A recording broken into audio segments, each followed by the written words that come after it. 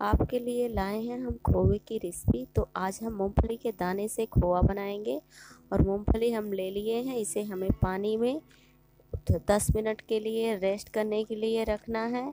और देखिए, इसे हम इस पानी में रख दे रहे हैं और इसे थोड़ी देर बाद हमें निकाल लेना है। और देखिए, हमने निकाल भी लिया है और ये कढ़ाई रख दिया हमने।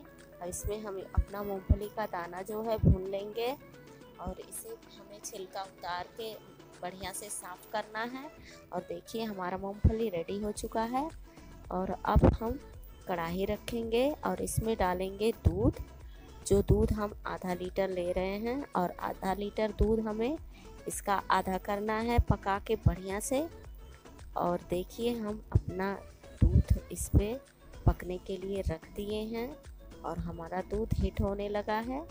और देखिए, ये गर्म होने लगा, तब तक हम छिलका उतार लेंगे मूंगफली के दाने का। और इस तरह से हम उसको साफ़ करेंगे। और देखिए दूध हमारा बिल्कुल उबल चुका है।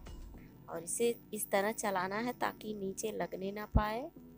और धीरे धीरे इसे बढ़िया से पकाना है, फुल फ्लेम नहीं चाहिए। और ये साफ़ हो गया है, देखिए, मूंगफली का दाना हमारा।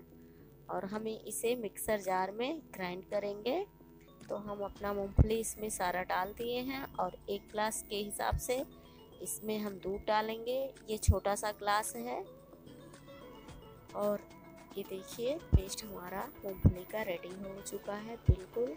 और इसे हमें इस दूध में डालना है। दूध हमारा देखिए बिल्कुल कम हो गया है। आधा अब इसी में हम अपना पेस्ट डालेंगे। और ये पेस्ट देखिए, इसमें हम डाल दे रहे हैं।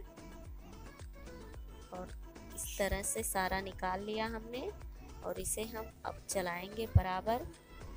इस तरह से चलाना है ताकि इसमें गुठली ना बने और जल्दी जल्दी इसको चलाते रहना है ताकि नीचे लगने भी ना पाए और गुठली भी ना बने। इस तरह से देखिए हमारा ये बिल्कुल गाढ़ा पेस्ट बन गया है और खोआ हमारा रेडी हो चुका है और इसमें हम, इस कटोरी के हिसाब से इसमें हम देसी घी डालेंगे और इस तरह से इसे मिक्स करना है हमें।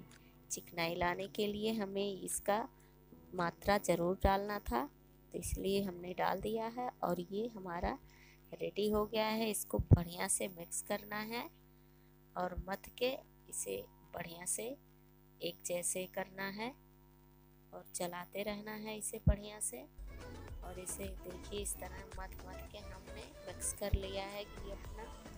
और ये बिल्कुल देखिए खोए जैसे है और ये रेडी हो चुका है। तो अगर आपको हमारा वीडियो पसंद आए तो लाइक सब्सक्राइब शेयर ज़रूर करिएगा। और अगले वीडियो में बने रहने के लिए हमारे चैनल को सब्सक्राइब करिएगा। नमस्कार।